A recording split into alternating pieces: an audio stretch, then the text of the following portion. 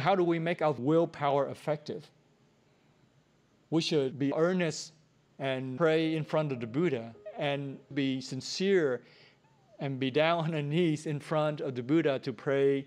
And the prayer of vows does not disappear into thin air, but it will come to fruition one day because we are leveraging the Buddha's power. We're not praying for personal benefits. Like, we're not praying to go to Western Pure Land to avoid suffering for ourselves, but to become bodhisattvas and to gain enlightenment for the sake of all sentient beings.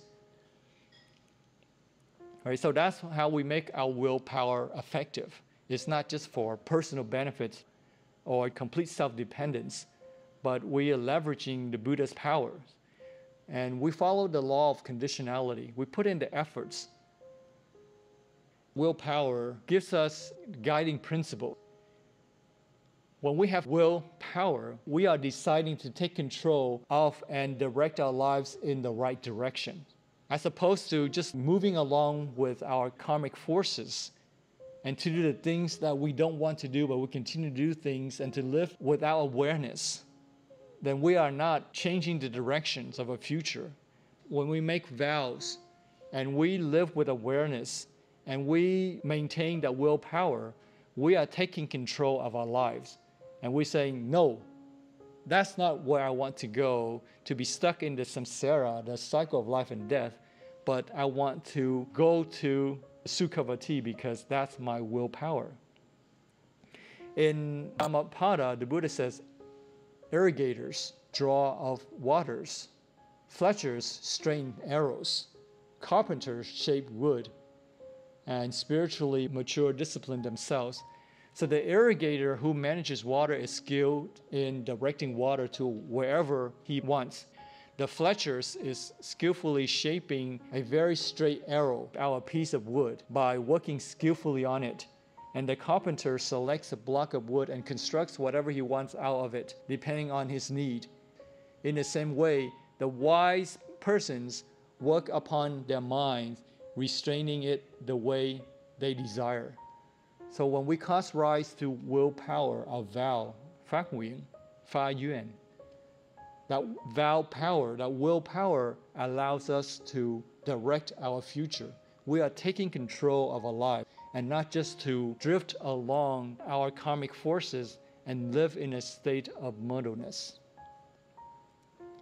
And the benefits is liberation from suffering of the cycle of life and death.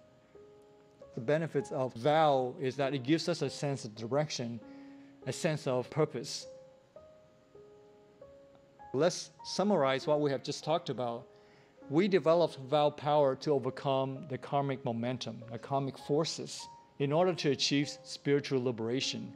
Otherwise, we'll just drift along and we'll continue to live how we've been living day after day face death and then encounter next rebirth within the samsara and continue the suffering. But when we make a vow and we have willpower, then we are taking control of our lives in a more positive direction. In other words, we should develop spiritually and mentally in a positive way by providing the seed of our joyful faith, 志心信要,激荡的鸟, a fertile ground for that seed to grow. And Buddha lands are developed for those who aspire to become bodhisattvas, not just to escape suffering in this world. Buddhas and bodhisattvas can create Buddha lands, but they cannot force sentient beings to be there indefinitely. Sentient beings like us can only be there if we want to be there, if we have the right aspiration. And so we should develop joyful faith and vow for rebirth in Sukhavati. In order to do that, we need to be prepared mentally and spiritually.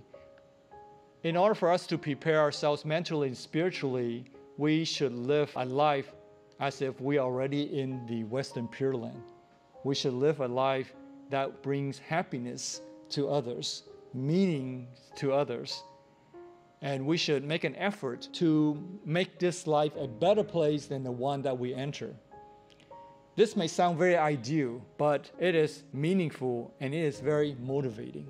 At least it's an aspiration, a high goal that we should strive to achieve.